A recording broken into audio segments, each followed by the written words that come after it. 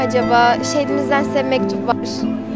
Sakarya Kent Konseyi Gençlik Meclisi'nin düzenlediği etkinlik duygu dolu anlar yaşanmasına neden oldu. 18 Mart Çanakkale Zaferi'nin 107. yıl dönümü dolayısıyla meclis üyeleri Kahraman Komando'nun operasyon öncesi yazdığı mektubu şehrin farklı noktalarında vatandaşlara ulaştırdı. 5 dakika vaktiniz var mı acaba? Şehidimizden size mektup var.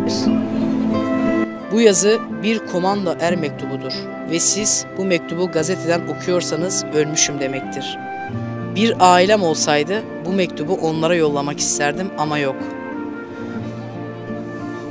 Size koğuştaki ranzamdan yazıyorum.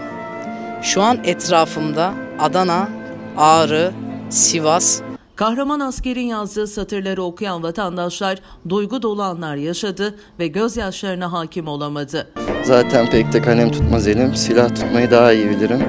Sizi korumam için siz öğrettiniz silah tutmayı. Tuhaf olan siz bu mektubu okurken ben neden öldüğümü bile bilmiyor olacağım. Ya bir mayına bastım ya da yediğim birkaç kurşun. Bileniniz var mı ben nasıl öldüm?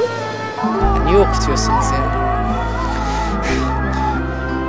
Sizi önce Allah'a sonra birbirinize emanet ediyorum.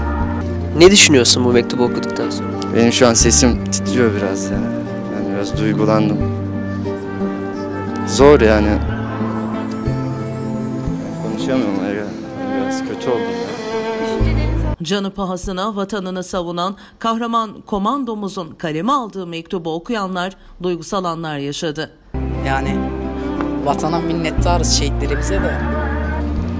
Biz en ufak bir diken bassak parmağımıza ah ediyoruz.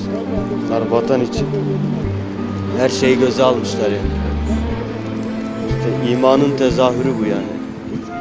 Allah onlardan binlerce kez razı olsun. İnşallah bize haklarını helal ederler. Duygulandım şu an çünkü benim oğlum da asker. Kuzey Irak'ta şu an. Yani ne bileyim. Büyükşehir Belediye Başkanı Ekrem Yüce de sosyal medya hesabından yaptığı paylaşımda Çanakkale şehitlerine ve tüm şehitlerimize rahmet dileyerek şehitlerimizin mektubunu gençlerimize ulaştıran Kent Konseyi Gençlik Meclisi'ne teşekkür ediyorum ifadelerini kullandı.